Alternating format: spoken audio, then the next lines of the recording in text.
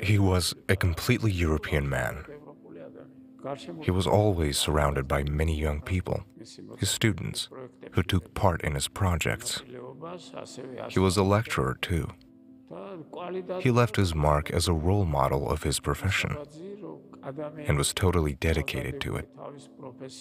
If you observe his oeuvre, you will be amazed at the volume of work he produced. As far as I recall, he worked very much.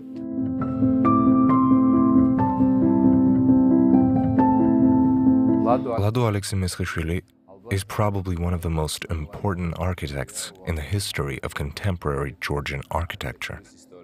He perfected his creative activities during the Soviet era.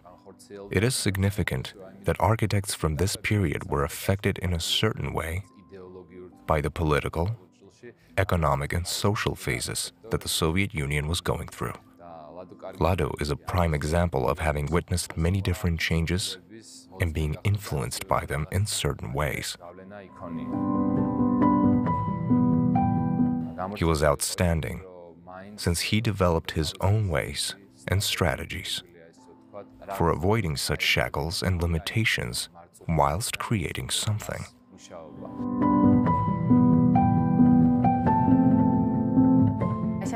This is the first retrospective exhibition dedicated to Mr. Lado Alexi Meskhishvili and reflects his complete legacy. The first attempt to expose his works occurred soon after his death. However, the current exhibition is voluminous, containing materials from the family archives, the national archives, libraries, and the archives of his co workers. Mr. Lado had to work in a very interesting period when Stalin type architecture shifted to the Khrushchev period, the so called late Soviet socialist modernism, and his output covers these periods, and he creates works during both of them.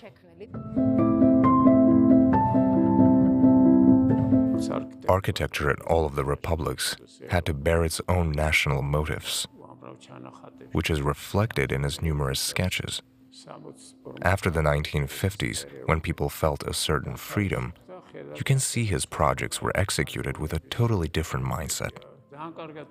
He was well versed in art and literature and was a great admirer of Frank Lloyd Wright, one of the founding fathers of organic architecture, i.e., the harmonious merging of architecture with its environment.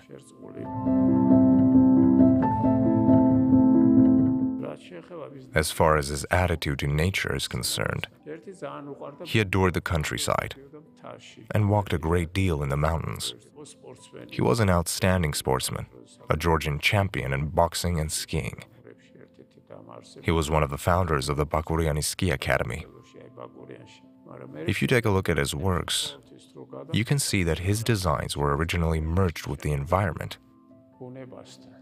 He would not violate or contradict nature, but make the building a part of it. For example, you can view the chess palace and its large fountain, or the Vake Park Cascade, which was the highest fountain in Europe at that time. I don't know if it's still the highest now, harmoniously placed in the center of the surrounding scenery. The same can be said of Tbilisi Sports Palace, which should be surrounded by a huge park, but is now unfortunately besieged by ugly buildings.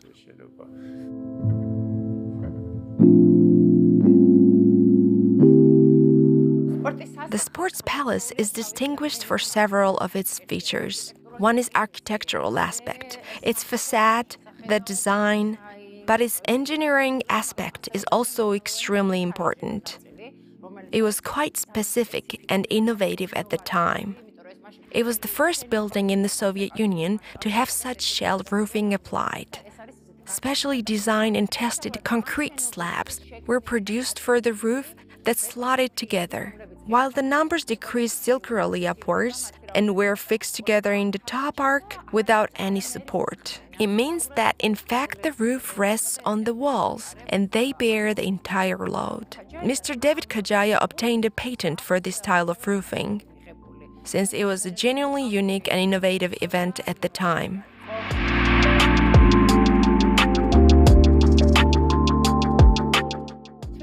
The Chess Palace and Alpine Club of Tbilisi is one more significant and extraordinary building that is here in Tbilisi. Similar to the Sports Palace, this building bears a multifaceted significance for both Tbilisi and Georgia. First of all, because of its name. The building was dedicated to outstanding accomplishments in both type of sports. Nona Gaprindashvili's victories attained in chess and then accomplishments of Alexander Japaridze and his followers in alpinism. All of this leaves an echo in the construction and is reflected in its appearance, which is really captivating. If we take a closer look to the decorative elements, we discover that each detail represents the queen's crown.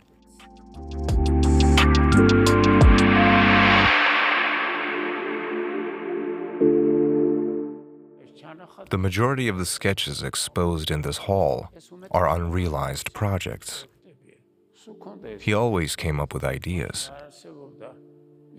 There was not so much freedom then, and there were no such materials.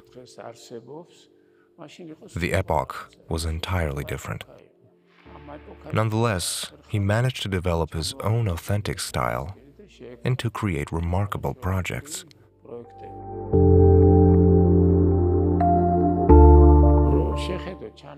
If you take a look at this sketch, it is a work of art.